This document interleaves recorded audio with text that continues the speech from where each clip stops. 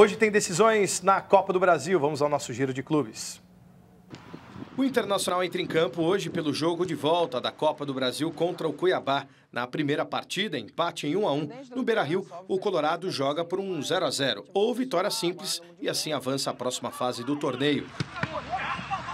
O Palmeiras também decide a vida na Copa do Brasil contra o Sampaio Correia. No jogo de ida no Castelão, vitória dos maranhenses por 2 a 1.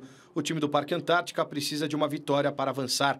Ainda sem o treinador definido, as negociações com o técnico Vanderlei Luxemburgo esfriaram. O Santos entra em campo amanhã contra o Princesa de Solimões pelo jogo de volta da Copa do Brasil. O Santos precisa apenas de um empate ou até uma derrota por 1 a 0 para se classificar. O Meia Renato, ex-Botafogo, foi apresentado ontem. O jogador fez história no time da Vila Belmiro em 2002, quando ajudou o Alvinegro a ser campeão brasileiro, depois de 18 anos de jejum de títulos ao lado de Diego e Robinho. A condição física eu mantive, não acabei perdendo e se o Oswaldo, é, já se eu tiver condições né, de quinta, posso, acredito, pela minha condição física, jogar os 90, né? Mas é como eu falo, no decorrer da partida tudo pode acontecer.